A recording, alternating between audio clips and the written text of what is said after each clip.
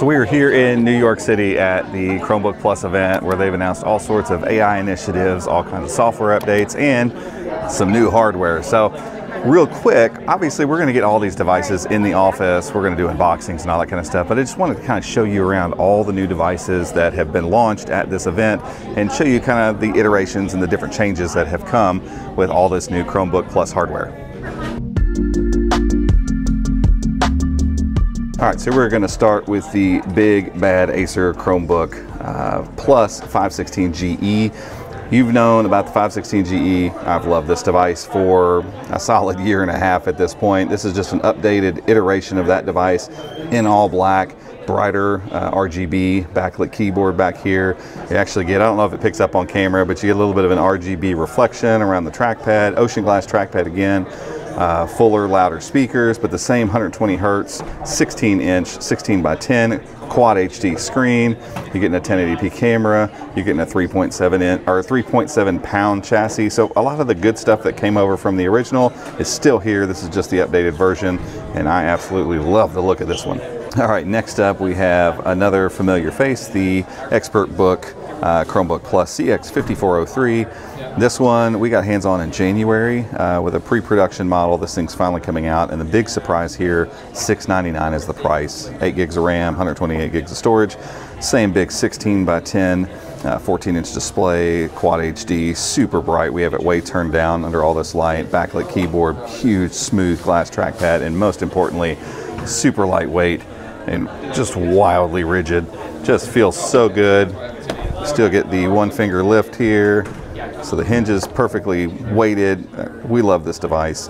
Um, we've been waiting on the production model to come out and I'm blown away that it's going to start at 699. Next up, another highly anticipated device. This is the newest in the line of Acer Chromebook Spin 714s. It's the uh, obviously a Chromebook Plus model See that right there on the lid. So technically the first 714 spin with Chromebook Plus here, even though the previous couple generations are all upgraded to Chromebook Plus already.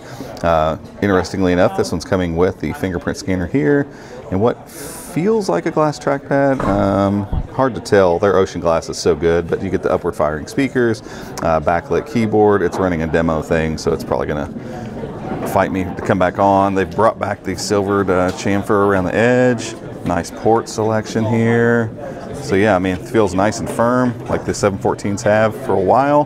So I uh, cannot wait to get this one in the office uh, for review because this is always uh, fan favorite device. All right, next up we have a refresh to the Chromebook Plus 514. So there has been a Chromebook Plus 514, but if you remember, it had AMD processors in it. We've actually had this device in the office for just a little bit, uh, so unboxing and all that kind of stuff will be coming on it pretty soon. But you're getting a touchscreen here. They've moved to a Core i3, um, so the N305 processor here. They took the backlighting out of this one. Ocean glass trackpad, upward facing speakers, 300 nit screen. So uh, you know, it's got some it's got some uh, benefits over the existing 514 and some things it doesn't do quite as well, but uh, overall, very affordable device starting at 349 bucks. Comes with half a terabyte of storage though, so very interesting addition uh, to the uh, Acer family here. All right, now we're coming to the Asus Chromebook Plus CX34. If you think you've seen this one before, you kind of sort of have. This thing is basically the exact same chassis uh, as the existing Chromebook Plus that's been out since October. Uh, I don't think there's anything different here. So like the same camera slider, looks like the same screen, port selection, everything pretty much the same here. The big news with this one is that they updated it to a Core i5 Raptor Lake processor. Uh, it still comes with the 8 uh, gigs of RAM, 128 gigs of storage.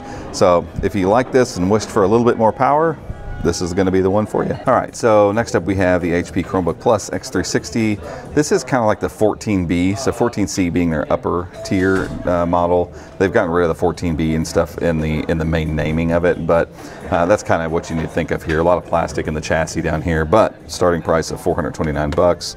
Uh, Core i3 inside, 8, 8 gigs of RAM, 128 gigs of storage. Obviously, it's a convertible, um, 14 inch, 16 by 9 screen, upward firing speakers pretty nice trackpad and as always a nice keyboard uh, from HP here. So uh, interesting price point on this one. All right, last new one we're going to talk about is this, the HP uh, Chromebook Plus 14 inch. So kind of like the X360, a lot of the similar specs.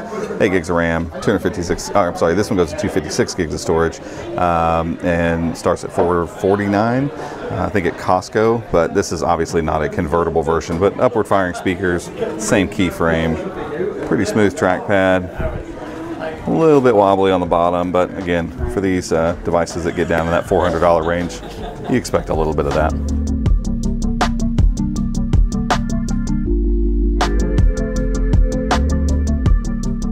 All right, so that's about it. I hate to say that's it because that's a lot of new Chromebooks. Uh, we obviously have our work cut out for us to get a hold of all these things, to get them all in the office, to unbox them, to review them. Uh, but it's exciting to have a bunch of new Chromebook Plus hardware.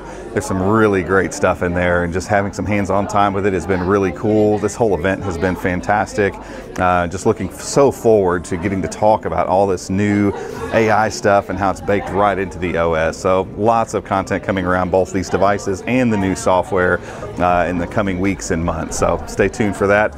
But that's it for this. And if you like this video, give us a thumbs up, head down there, hit subscribe, and be sure to ring the notification icon as well if you'd like to be alerted when we make future videos just like this one. Until next time, we'll see you.